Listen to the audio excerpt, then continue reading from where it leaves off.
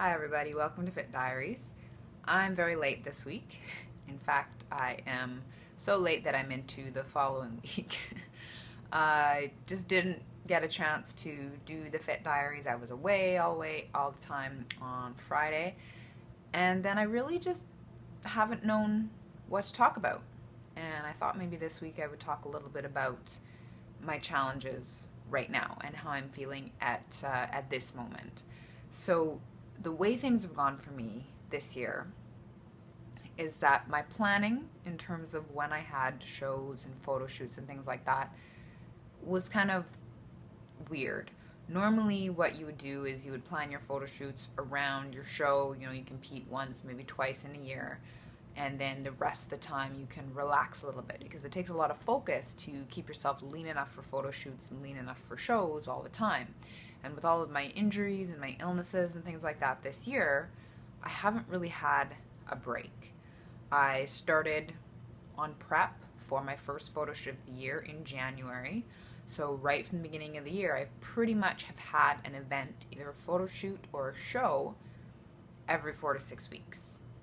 That means I've never had the chance to really have a break and kind of go sort of off season for a little bit, which basically just means expanding on my food choices again, incorporating some foods that I haven't been able to have in a little while, um, eating more food and shifting my focus from staying lean to building muscle. I just haven't been able to to do that, and that really gives you gives you a break both mentally and physically.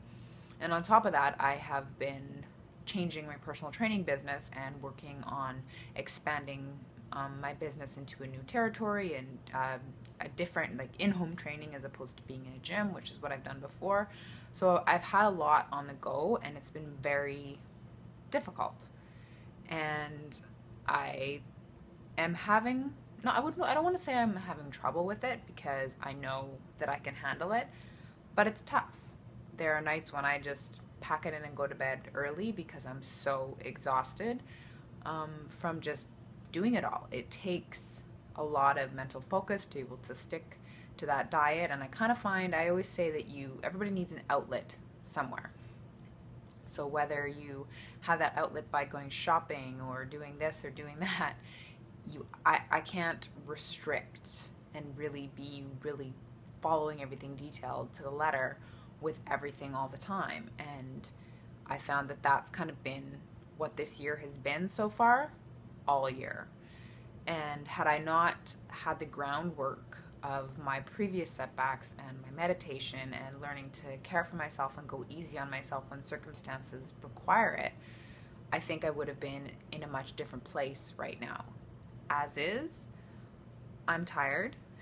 I'm ready to be done with prepping for photo shoots and be done with shows for a little bit and just focus on building my strength back up, building some muscle back up, and kind of shifting most of my energies from staying lean and you know being photo shoot ready to some other things that I want to work on building my business and you know my personal training career and things like that. I'd like to shift my focus a little bit and I just I just can't right now. I don't have that much mental capacity to, to focus on everything all at once. So I'm feeling tired and I'm feeling a little bit worn down with it but I'm kind of at that point where it's only a few more weeks until actually it's less than two weeks now until my next uh, couple photo shoots are coming up.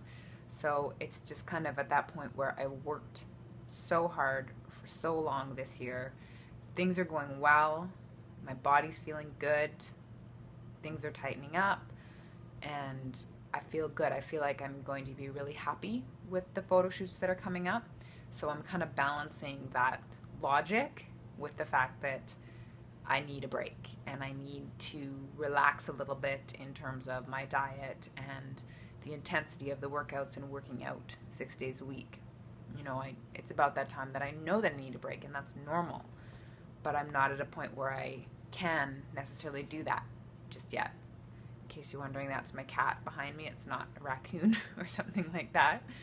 Um, but yeah, that's just kind of where I'm at right now. I'm just ready to kind of shift my focus a little bit, but I'm not at the point yet where I can do that. I just have to hang on for a little while longer, rock these photo shoots, which I am excited about, even though I'm tired, and uh, go from there. So I've been just focusing on that, just kind of taking it one day at a time right now and just getting through and doing what I know I need to do. And sometimes that's the best way to do things. And it's not always about the big vision board and looking for the motivation and the big grand scheme of things to motivate yourself.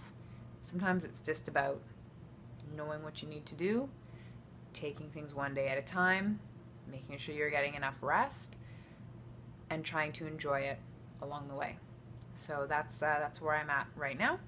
And uh, if you guys can relate, please leave me a comment. If you like this video, give me a thumbs up. Subscribe if you like.